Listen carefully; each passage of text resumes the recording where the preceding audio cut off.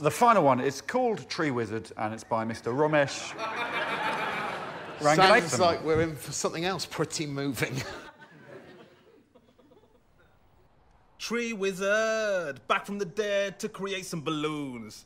Tree wizard, hands together, he creates a balloon. Tree wizard has to make sure he double checks the balloon. Tree wizard, oh my god, it's another balloon. Tree wizard, how many times will he check the balloon? Tree wizard, magical hands, and holy shit, it's another balloon. Tree wizard takes position. What is he gonna do? Tree wizard flies up to his tree and waves goodbye to you.